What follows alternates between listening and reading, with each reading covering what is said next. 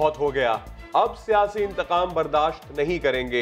बिलावल भुट्टो जरदारी ने मजाहमती सियासत शुरू करने का बाकायदा ऐलान कर दिया। पीपल्स पार्टी कल से सड़कों पर मुजाहरों का बाकायदा आगाज़ करेगी।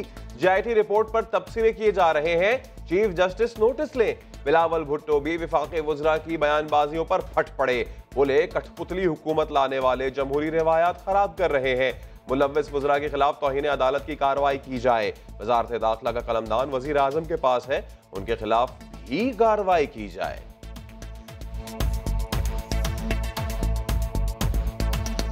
मैं मुतालबा करता हूँ चीफ जस्टिस साहब से कि वो सुओ मोटो एक्शन ले और जो मिनिस्टर्स इन्वॉल्व हैं, उनके खिलाफ कंटेम्प्ट का एक्शन हो। मैं समझता हूँ कि ये एफआईए के नीचे आता है और एफआईए इंटीरियर के मिनिस्ट्री के नीचे आता है और इंटीरियर मिनिस्टर जो है, वो खान साहब है। तो उसके खिलाफ ये एक्शन होना चाहिए। Sindh mega money laundering case, Asif Zardari और फरियाल तालपुर कल बैंकिंग कोर्ट में पेश होंगे अबूरी जमानत में तोसी की दरखास्त देंगे। दरखास्त मनसूखी पर अदालत से गिरफ्तारी मुतव पीपल्स पार्टी से सूबाई वजरा और अरकान पार्लियामेंट को कल बैंकिंग कोर्ट पहुँचने की हिदायत कर दी। जियाले भी सोशल मीडिया पर सरगर्म, बैंकिंग कोर्ट पहुँचने की मुहिम पर चल पड़े।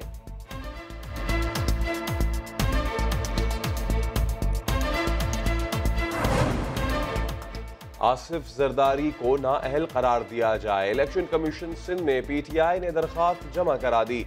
खुरम शेर जमान कहते हैं, हुकूमत का किसी इदारे पर कोई दबाव नहीं। करप्शन के बड़े हाथियों के खिलाफ तहकीकात की जाए। हमने फैसला कर लिया। कोई एनआरओ नहीं देंगे। जिन लोगों ने करप्शन की, उन्हें जेल जाना होगा। अब एक, दूसरे शख्स की बारी है। एक का तो काम तमाम हो गया है और 24 तारीख को इन ताला अच्छी खबर पूरे पाकिस्तान को मिलेगी। 24 दिसंबर को फैसला हक में आया तो चुप रहा जाए। खिलाफ आया तो मुल्क गिर रबता मुहिम चलाई जाए। एहतसाब अदालत के मुतव फैसले के खिलाफ नून लीग ने हमत अमली तरतीब दे दी। पार्लियामेंट हाउस में नवाज़ और शहबाज के दरमियान वन ऑन वन मुलाकात। सेंट्रल एग्जीक्यूटिव कमेटी के इजलास में बड़े फैसले कर लिए गए। अपोजिशन जमातों से रबते की तजवीज़ भी मंजूर। पार्टी की तंजीम साजी के बारे में बातचीत हुई है और कुछ फैसले किए गए हैं। इन उन फैसलों से मुझे उम्मीद है कि पाकिस्तान की सियासत पे अच्छे, मस्बत और दूरस असरात मुरतब को पूरा मौका दिया गया है कि वो अपनी सफ़ाई पेश करे। अगर उसके बाद एक जज फैसला करे कसूरवार है, ये गिल्टी है तो फिर अवामी प्रोटेस्ट का तो मुझे समझ नहीं आती। नवाज़ शरीफ किस बुनियाद पर अवामी मुहिम शुरू करेंगे? जहांगीर तरीन शरीफ बरदरान पर बरस पड़े। कहा, दहाइयों तक हुकूमत करने वालों पर एहतसाब का घेरा तंग हो रहा है। अपोजिशन के हाथों ब्लैकमेल नहीं हो रहे। फयाजुल हसन चौहान की भी कड़ी तनकीद। कहा, नवाज़ शरीफ और करप्शन यकजान है। सियासत में करप्शन का आगाज़ नवाज़ शरीफ ने किया। जरदारी जोड़ तोड़ नहीं तोड़ फोड़ के माहिर हैं। नवाज़ शरीफ को यूके लैंड रजिस्ट्री से तस्दीक शुदा एक और दस्तावेज़ मौसू हो गई। वकला कल एहतसाब अदालत में जमा कराएँगे।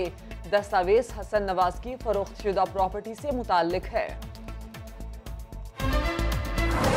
फैसला किया गया कि जो दो एम एन एज हैं पी टी एम के डावर मौसन और अली वज़ीर साहब, इनको नाम जो है वो डिलीट कर दिए जाए ई सी एल से।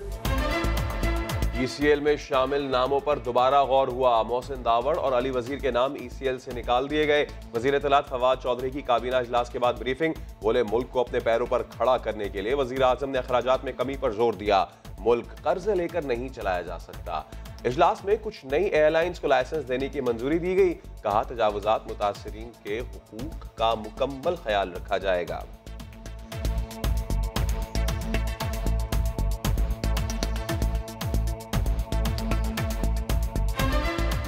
जो हदायत प्राइमरीली जारी की गई है सी डी ए को कि जो इफ़ेक्टिव हैं, जो मुतासरीन हैं, उनको, उनके हकूक़ और मफादात का ख्याल रखना भी हकूमत का फ़र्ज़ है। ये नहीं है कि हमने 1960 के बने हुए मनसूबे के ऊपर जो लोग हैं या उन्हीं को बेघर करना शुरू कर दें हम ये बिल इंट्रोड्यूस हम फौरी तौर पर कर रहे हैं कि जनूबी पंजाब का सूबा,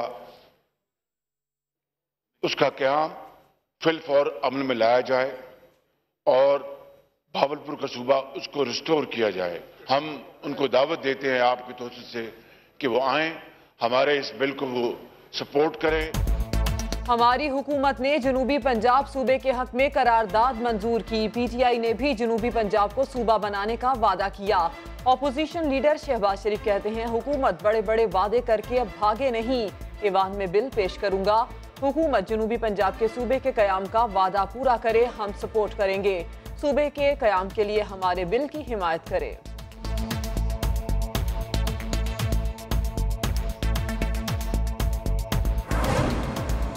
हमें मगरबी और मशरकी सरहदों पर अम दरकार है। बातचीत के सिवा कोई रास्ता नहीं। अमन इसकाम हमारी ज़रूरत है। वज़ीर खारजा शाह महमूद का सेनेट में खिताब। कहा माशी बहाली का वाद रास्ता सिर्फ़ और सिर्फ़ अमन है। हमेशा से ये मौकफ रहा है कि अफगान मसले का हल जंग नहीं। जो चीज़ें मैंने देखी हैं, आप सोच भी नहीं सकते एम्प्रेस मार्ट के अंदर होता क्या था। जो रिमूव किया है मैंने, और मुझे फख्र है उस बात पे कि गलत एक्टिविटीज़ हो रही थी वहाँ। ड्रग्स थे वहाँ आर्म्स थे वहाँ। अब बोलूँ मैं आपको कराची की एम्प्रेस मार्केट में ऑपरेशन क्यों हुआ? तजावजात के खिलाफ और क्या वजूहत थी? मेयर कराची वसीम अख्तर ने नया पिंडोरा बॉक्स खोल दिया, कहा, मार्केट में गैर कानूनी सरगर्मियाँ हो रही थी। ड्रग्स और असलहा मौजूद था। एसएसपी साउथ पीर मोहम्मद शाह की तरदीद बोले, तजावजात के खिलाफ ऑपरेशन में ऐसा कुछ नहीं निकला।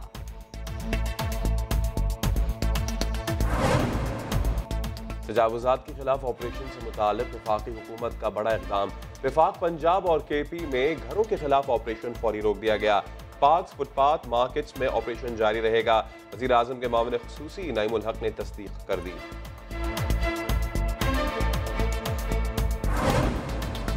लाहौर में कम कमसिन बच्ची मुबैना ज्यादती के बाद कत्ल। बच्ची के मामू समेत गिरफ़्तार मुलजिमान का डीएनए टेस्ट होगा। जैनब के वालिद अमीन अंसारी, मकतूला आयशा के घर पहुँच गए।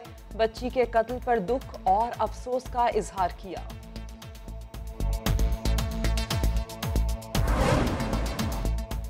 पाकिस्तान सुपर लीग में भी तब्दीली आ गई। जहांगीर तरीन के बेटे अली तरीन ने पीएसएल की छठी टीम खरीद ली। सात साल के लिए फ्रेंचाइज राइट्स मिल गए।